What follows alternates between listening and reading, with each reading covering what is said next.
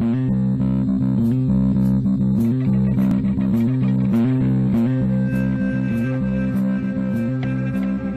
to Crazy Town 10 minutes or less. I'm Jonas. Yeah, TNT Dinomight Yes, the explosive one. Uh, this is ten minutes or less. Let's start the timer. Heck yeah. Uh, TNT. Um, did you ever uh, did you ever go up in Cleveland near the Brown Stadium? Like if you're walking towards the stadium, where there would be that guy playing the saxophone, like a kind of like I don't know if he's a bum. But, like, he was standing under the bridge. back. Yeah, I know what you're talking about. Yeah.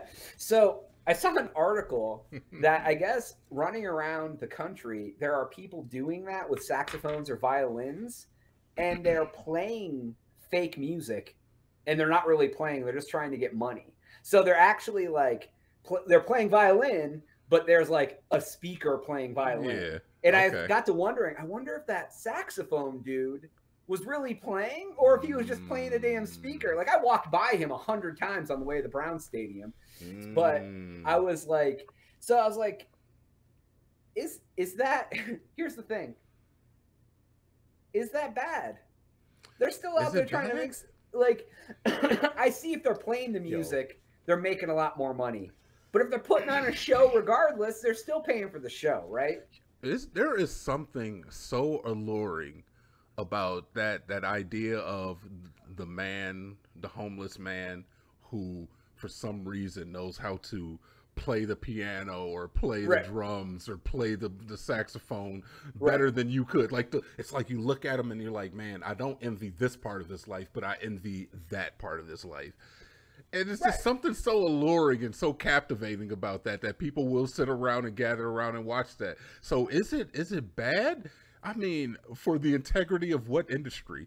Like what? And that's what I mean, right? Because there's panhandlers, bum, like homeless guys that just sit there and literally Yeah. hold a hat and say, "Give me money." yeah, yeah. whether you're playing the violin or faking playing violin, you're putting on a show. Yeah, this is this is a lawless industry, man. We're talking about this industry is all about, hey, I need to get Yeah. whatever I need for today. Well, because here's my thought: you see, like in okay, for those of you who aren't familiar in Austin, on the frontage roads of the freeway, there's always people at every freaking traffic light begging for money, and but they always have a sign.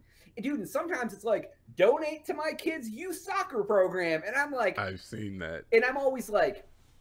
Are you really having a fundraiser for your kids' youth soccer program? Or are you not buying just- it.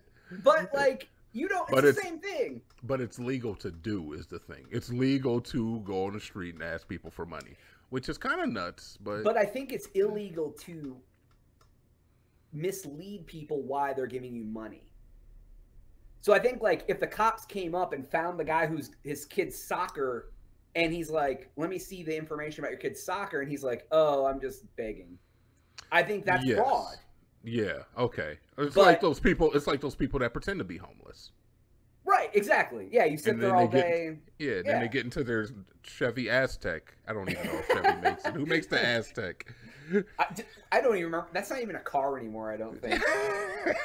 but that's what that's the kind of car I would picture a person getting into that was pretending to be homeless. I'm sorry.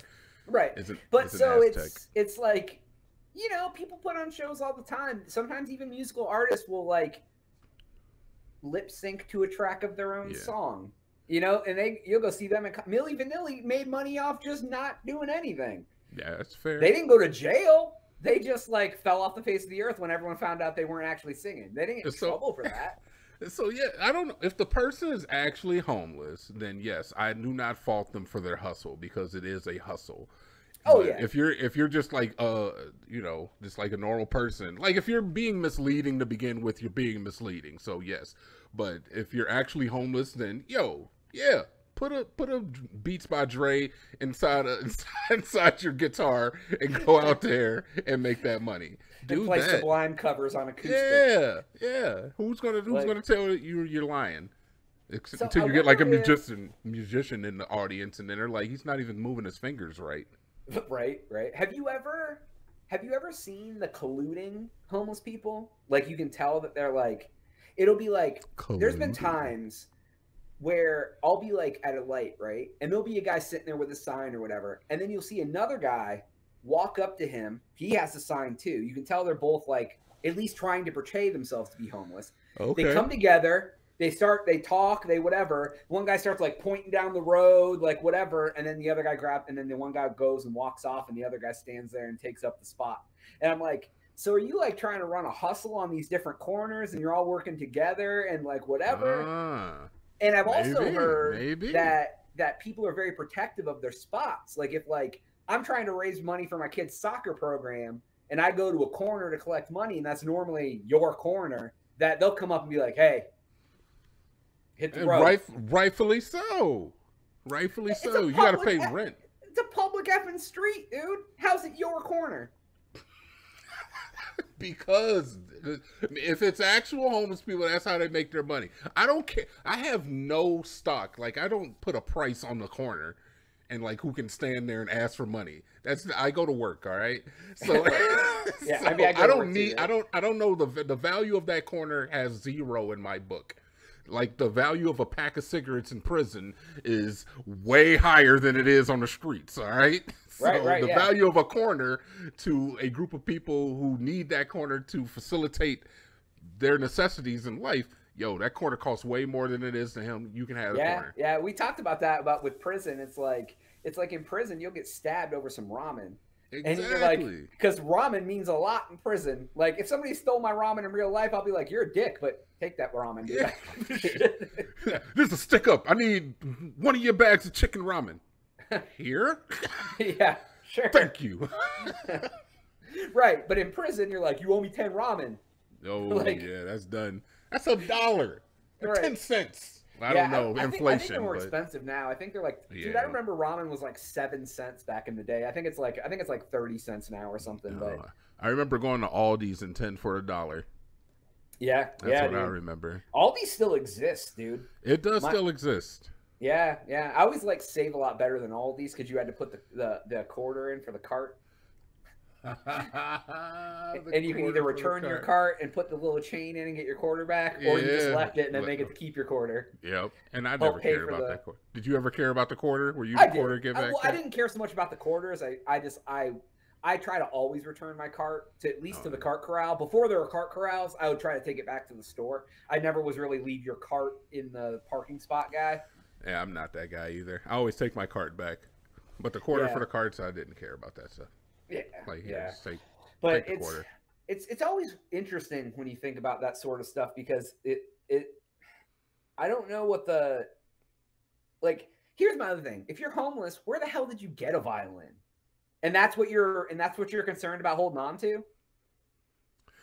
I'm not gonna. I don't know, man. I don't know what lives they live, but you know, those people usually come from a place where they had stuff, I guess, and then like you can only take certain things with you. And I guess it's small enough to carry around, right? Yeah, Like, and if, if hey, look, and the violin's gonna make you money. that's true. I think if I ever became homeless and was trying to panhandle, I would like I What are you gonna I- do? What's your I hustle think- gonna be? I think I would make little paintings. You would make little paintings. Okay. Like, because that way I feel like I'm selling something rather than just being like, "Can I have some money?" I'll be like holding up these like little paintings and be like, and someone can buy the little painting off off of me, right? I'm just gonna slang dick. Oh wow, you're just gonna What? Just, you're just like you got to keep. How you gonna get clean? You gotta have a Planet Fitness membership and get in there and take your showers and all that sort of Yeah, stuff. I mean, yeah, I guess, man. But I'll, I'll slang it. Yeah, twenty five dollars a minute, a minute. an hour, an hour. Sorry, an hour. Wow, that's a. That, I don't know which one's worse. Yeah, it's it's a competitive market, so you gotta. Twenty five dollars an hour for you're like. That- That's more than most people make at their jobs, Jonas. That's true. That is very- right. That's right? I guess. I guess when you think about it that way, Or I could always go to Chick Fil A and volunteer for free entrees. do they do that? Did you hear? You didn't hear about that?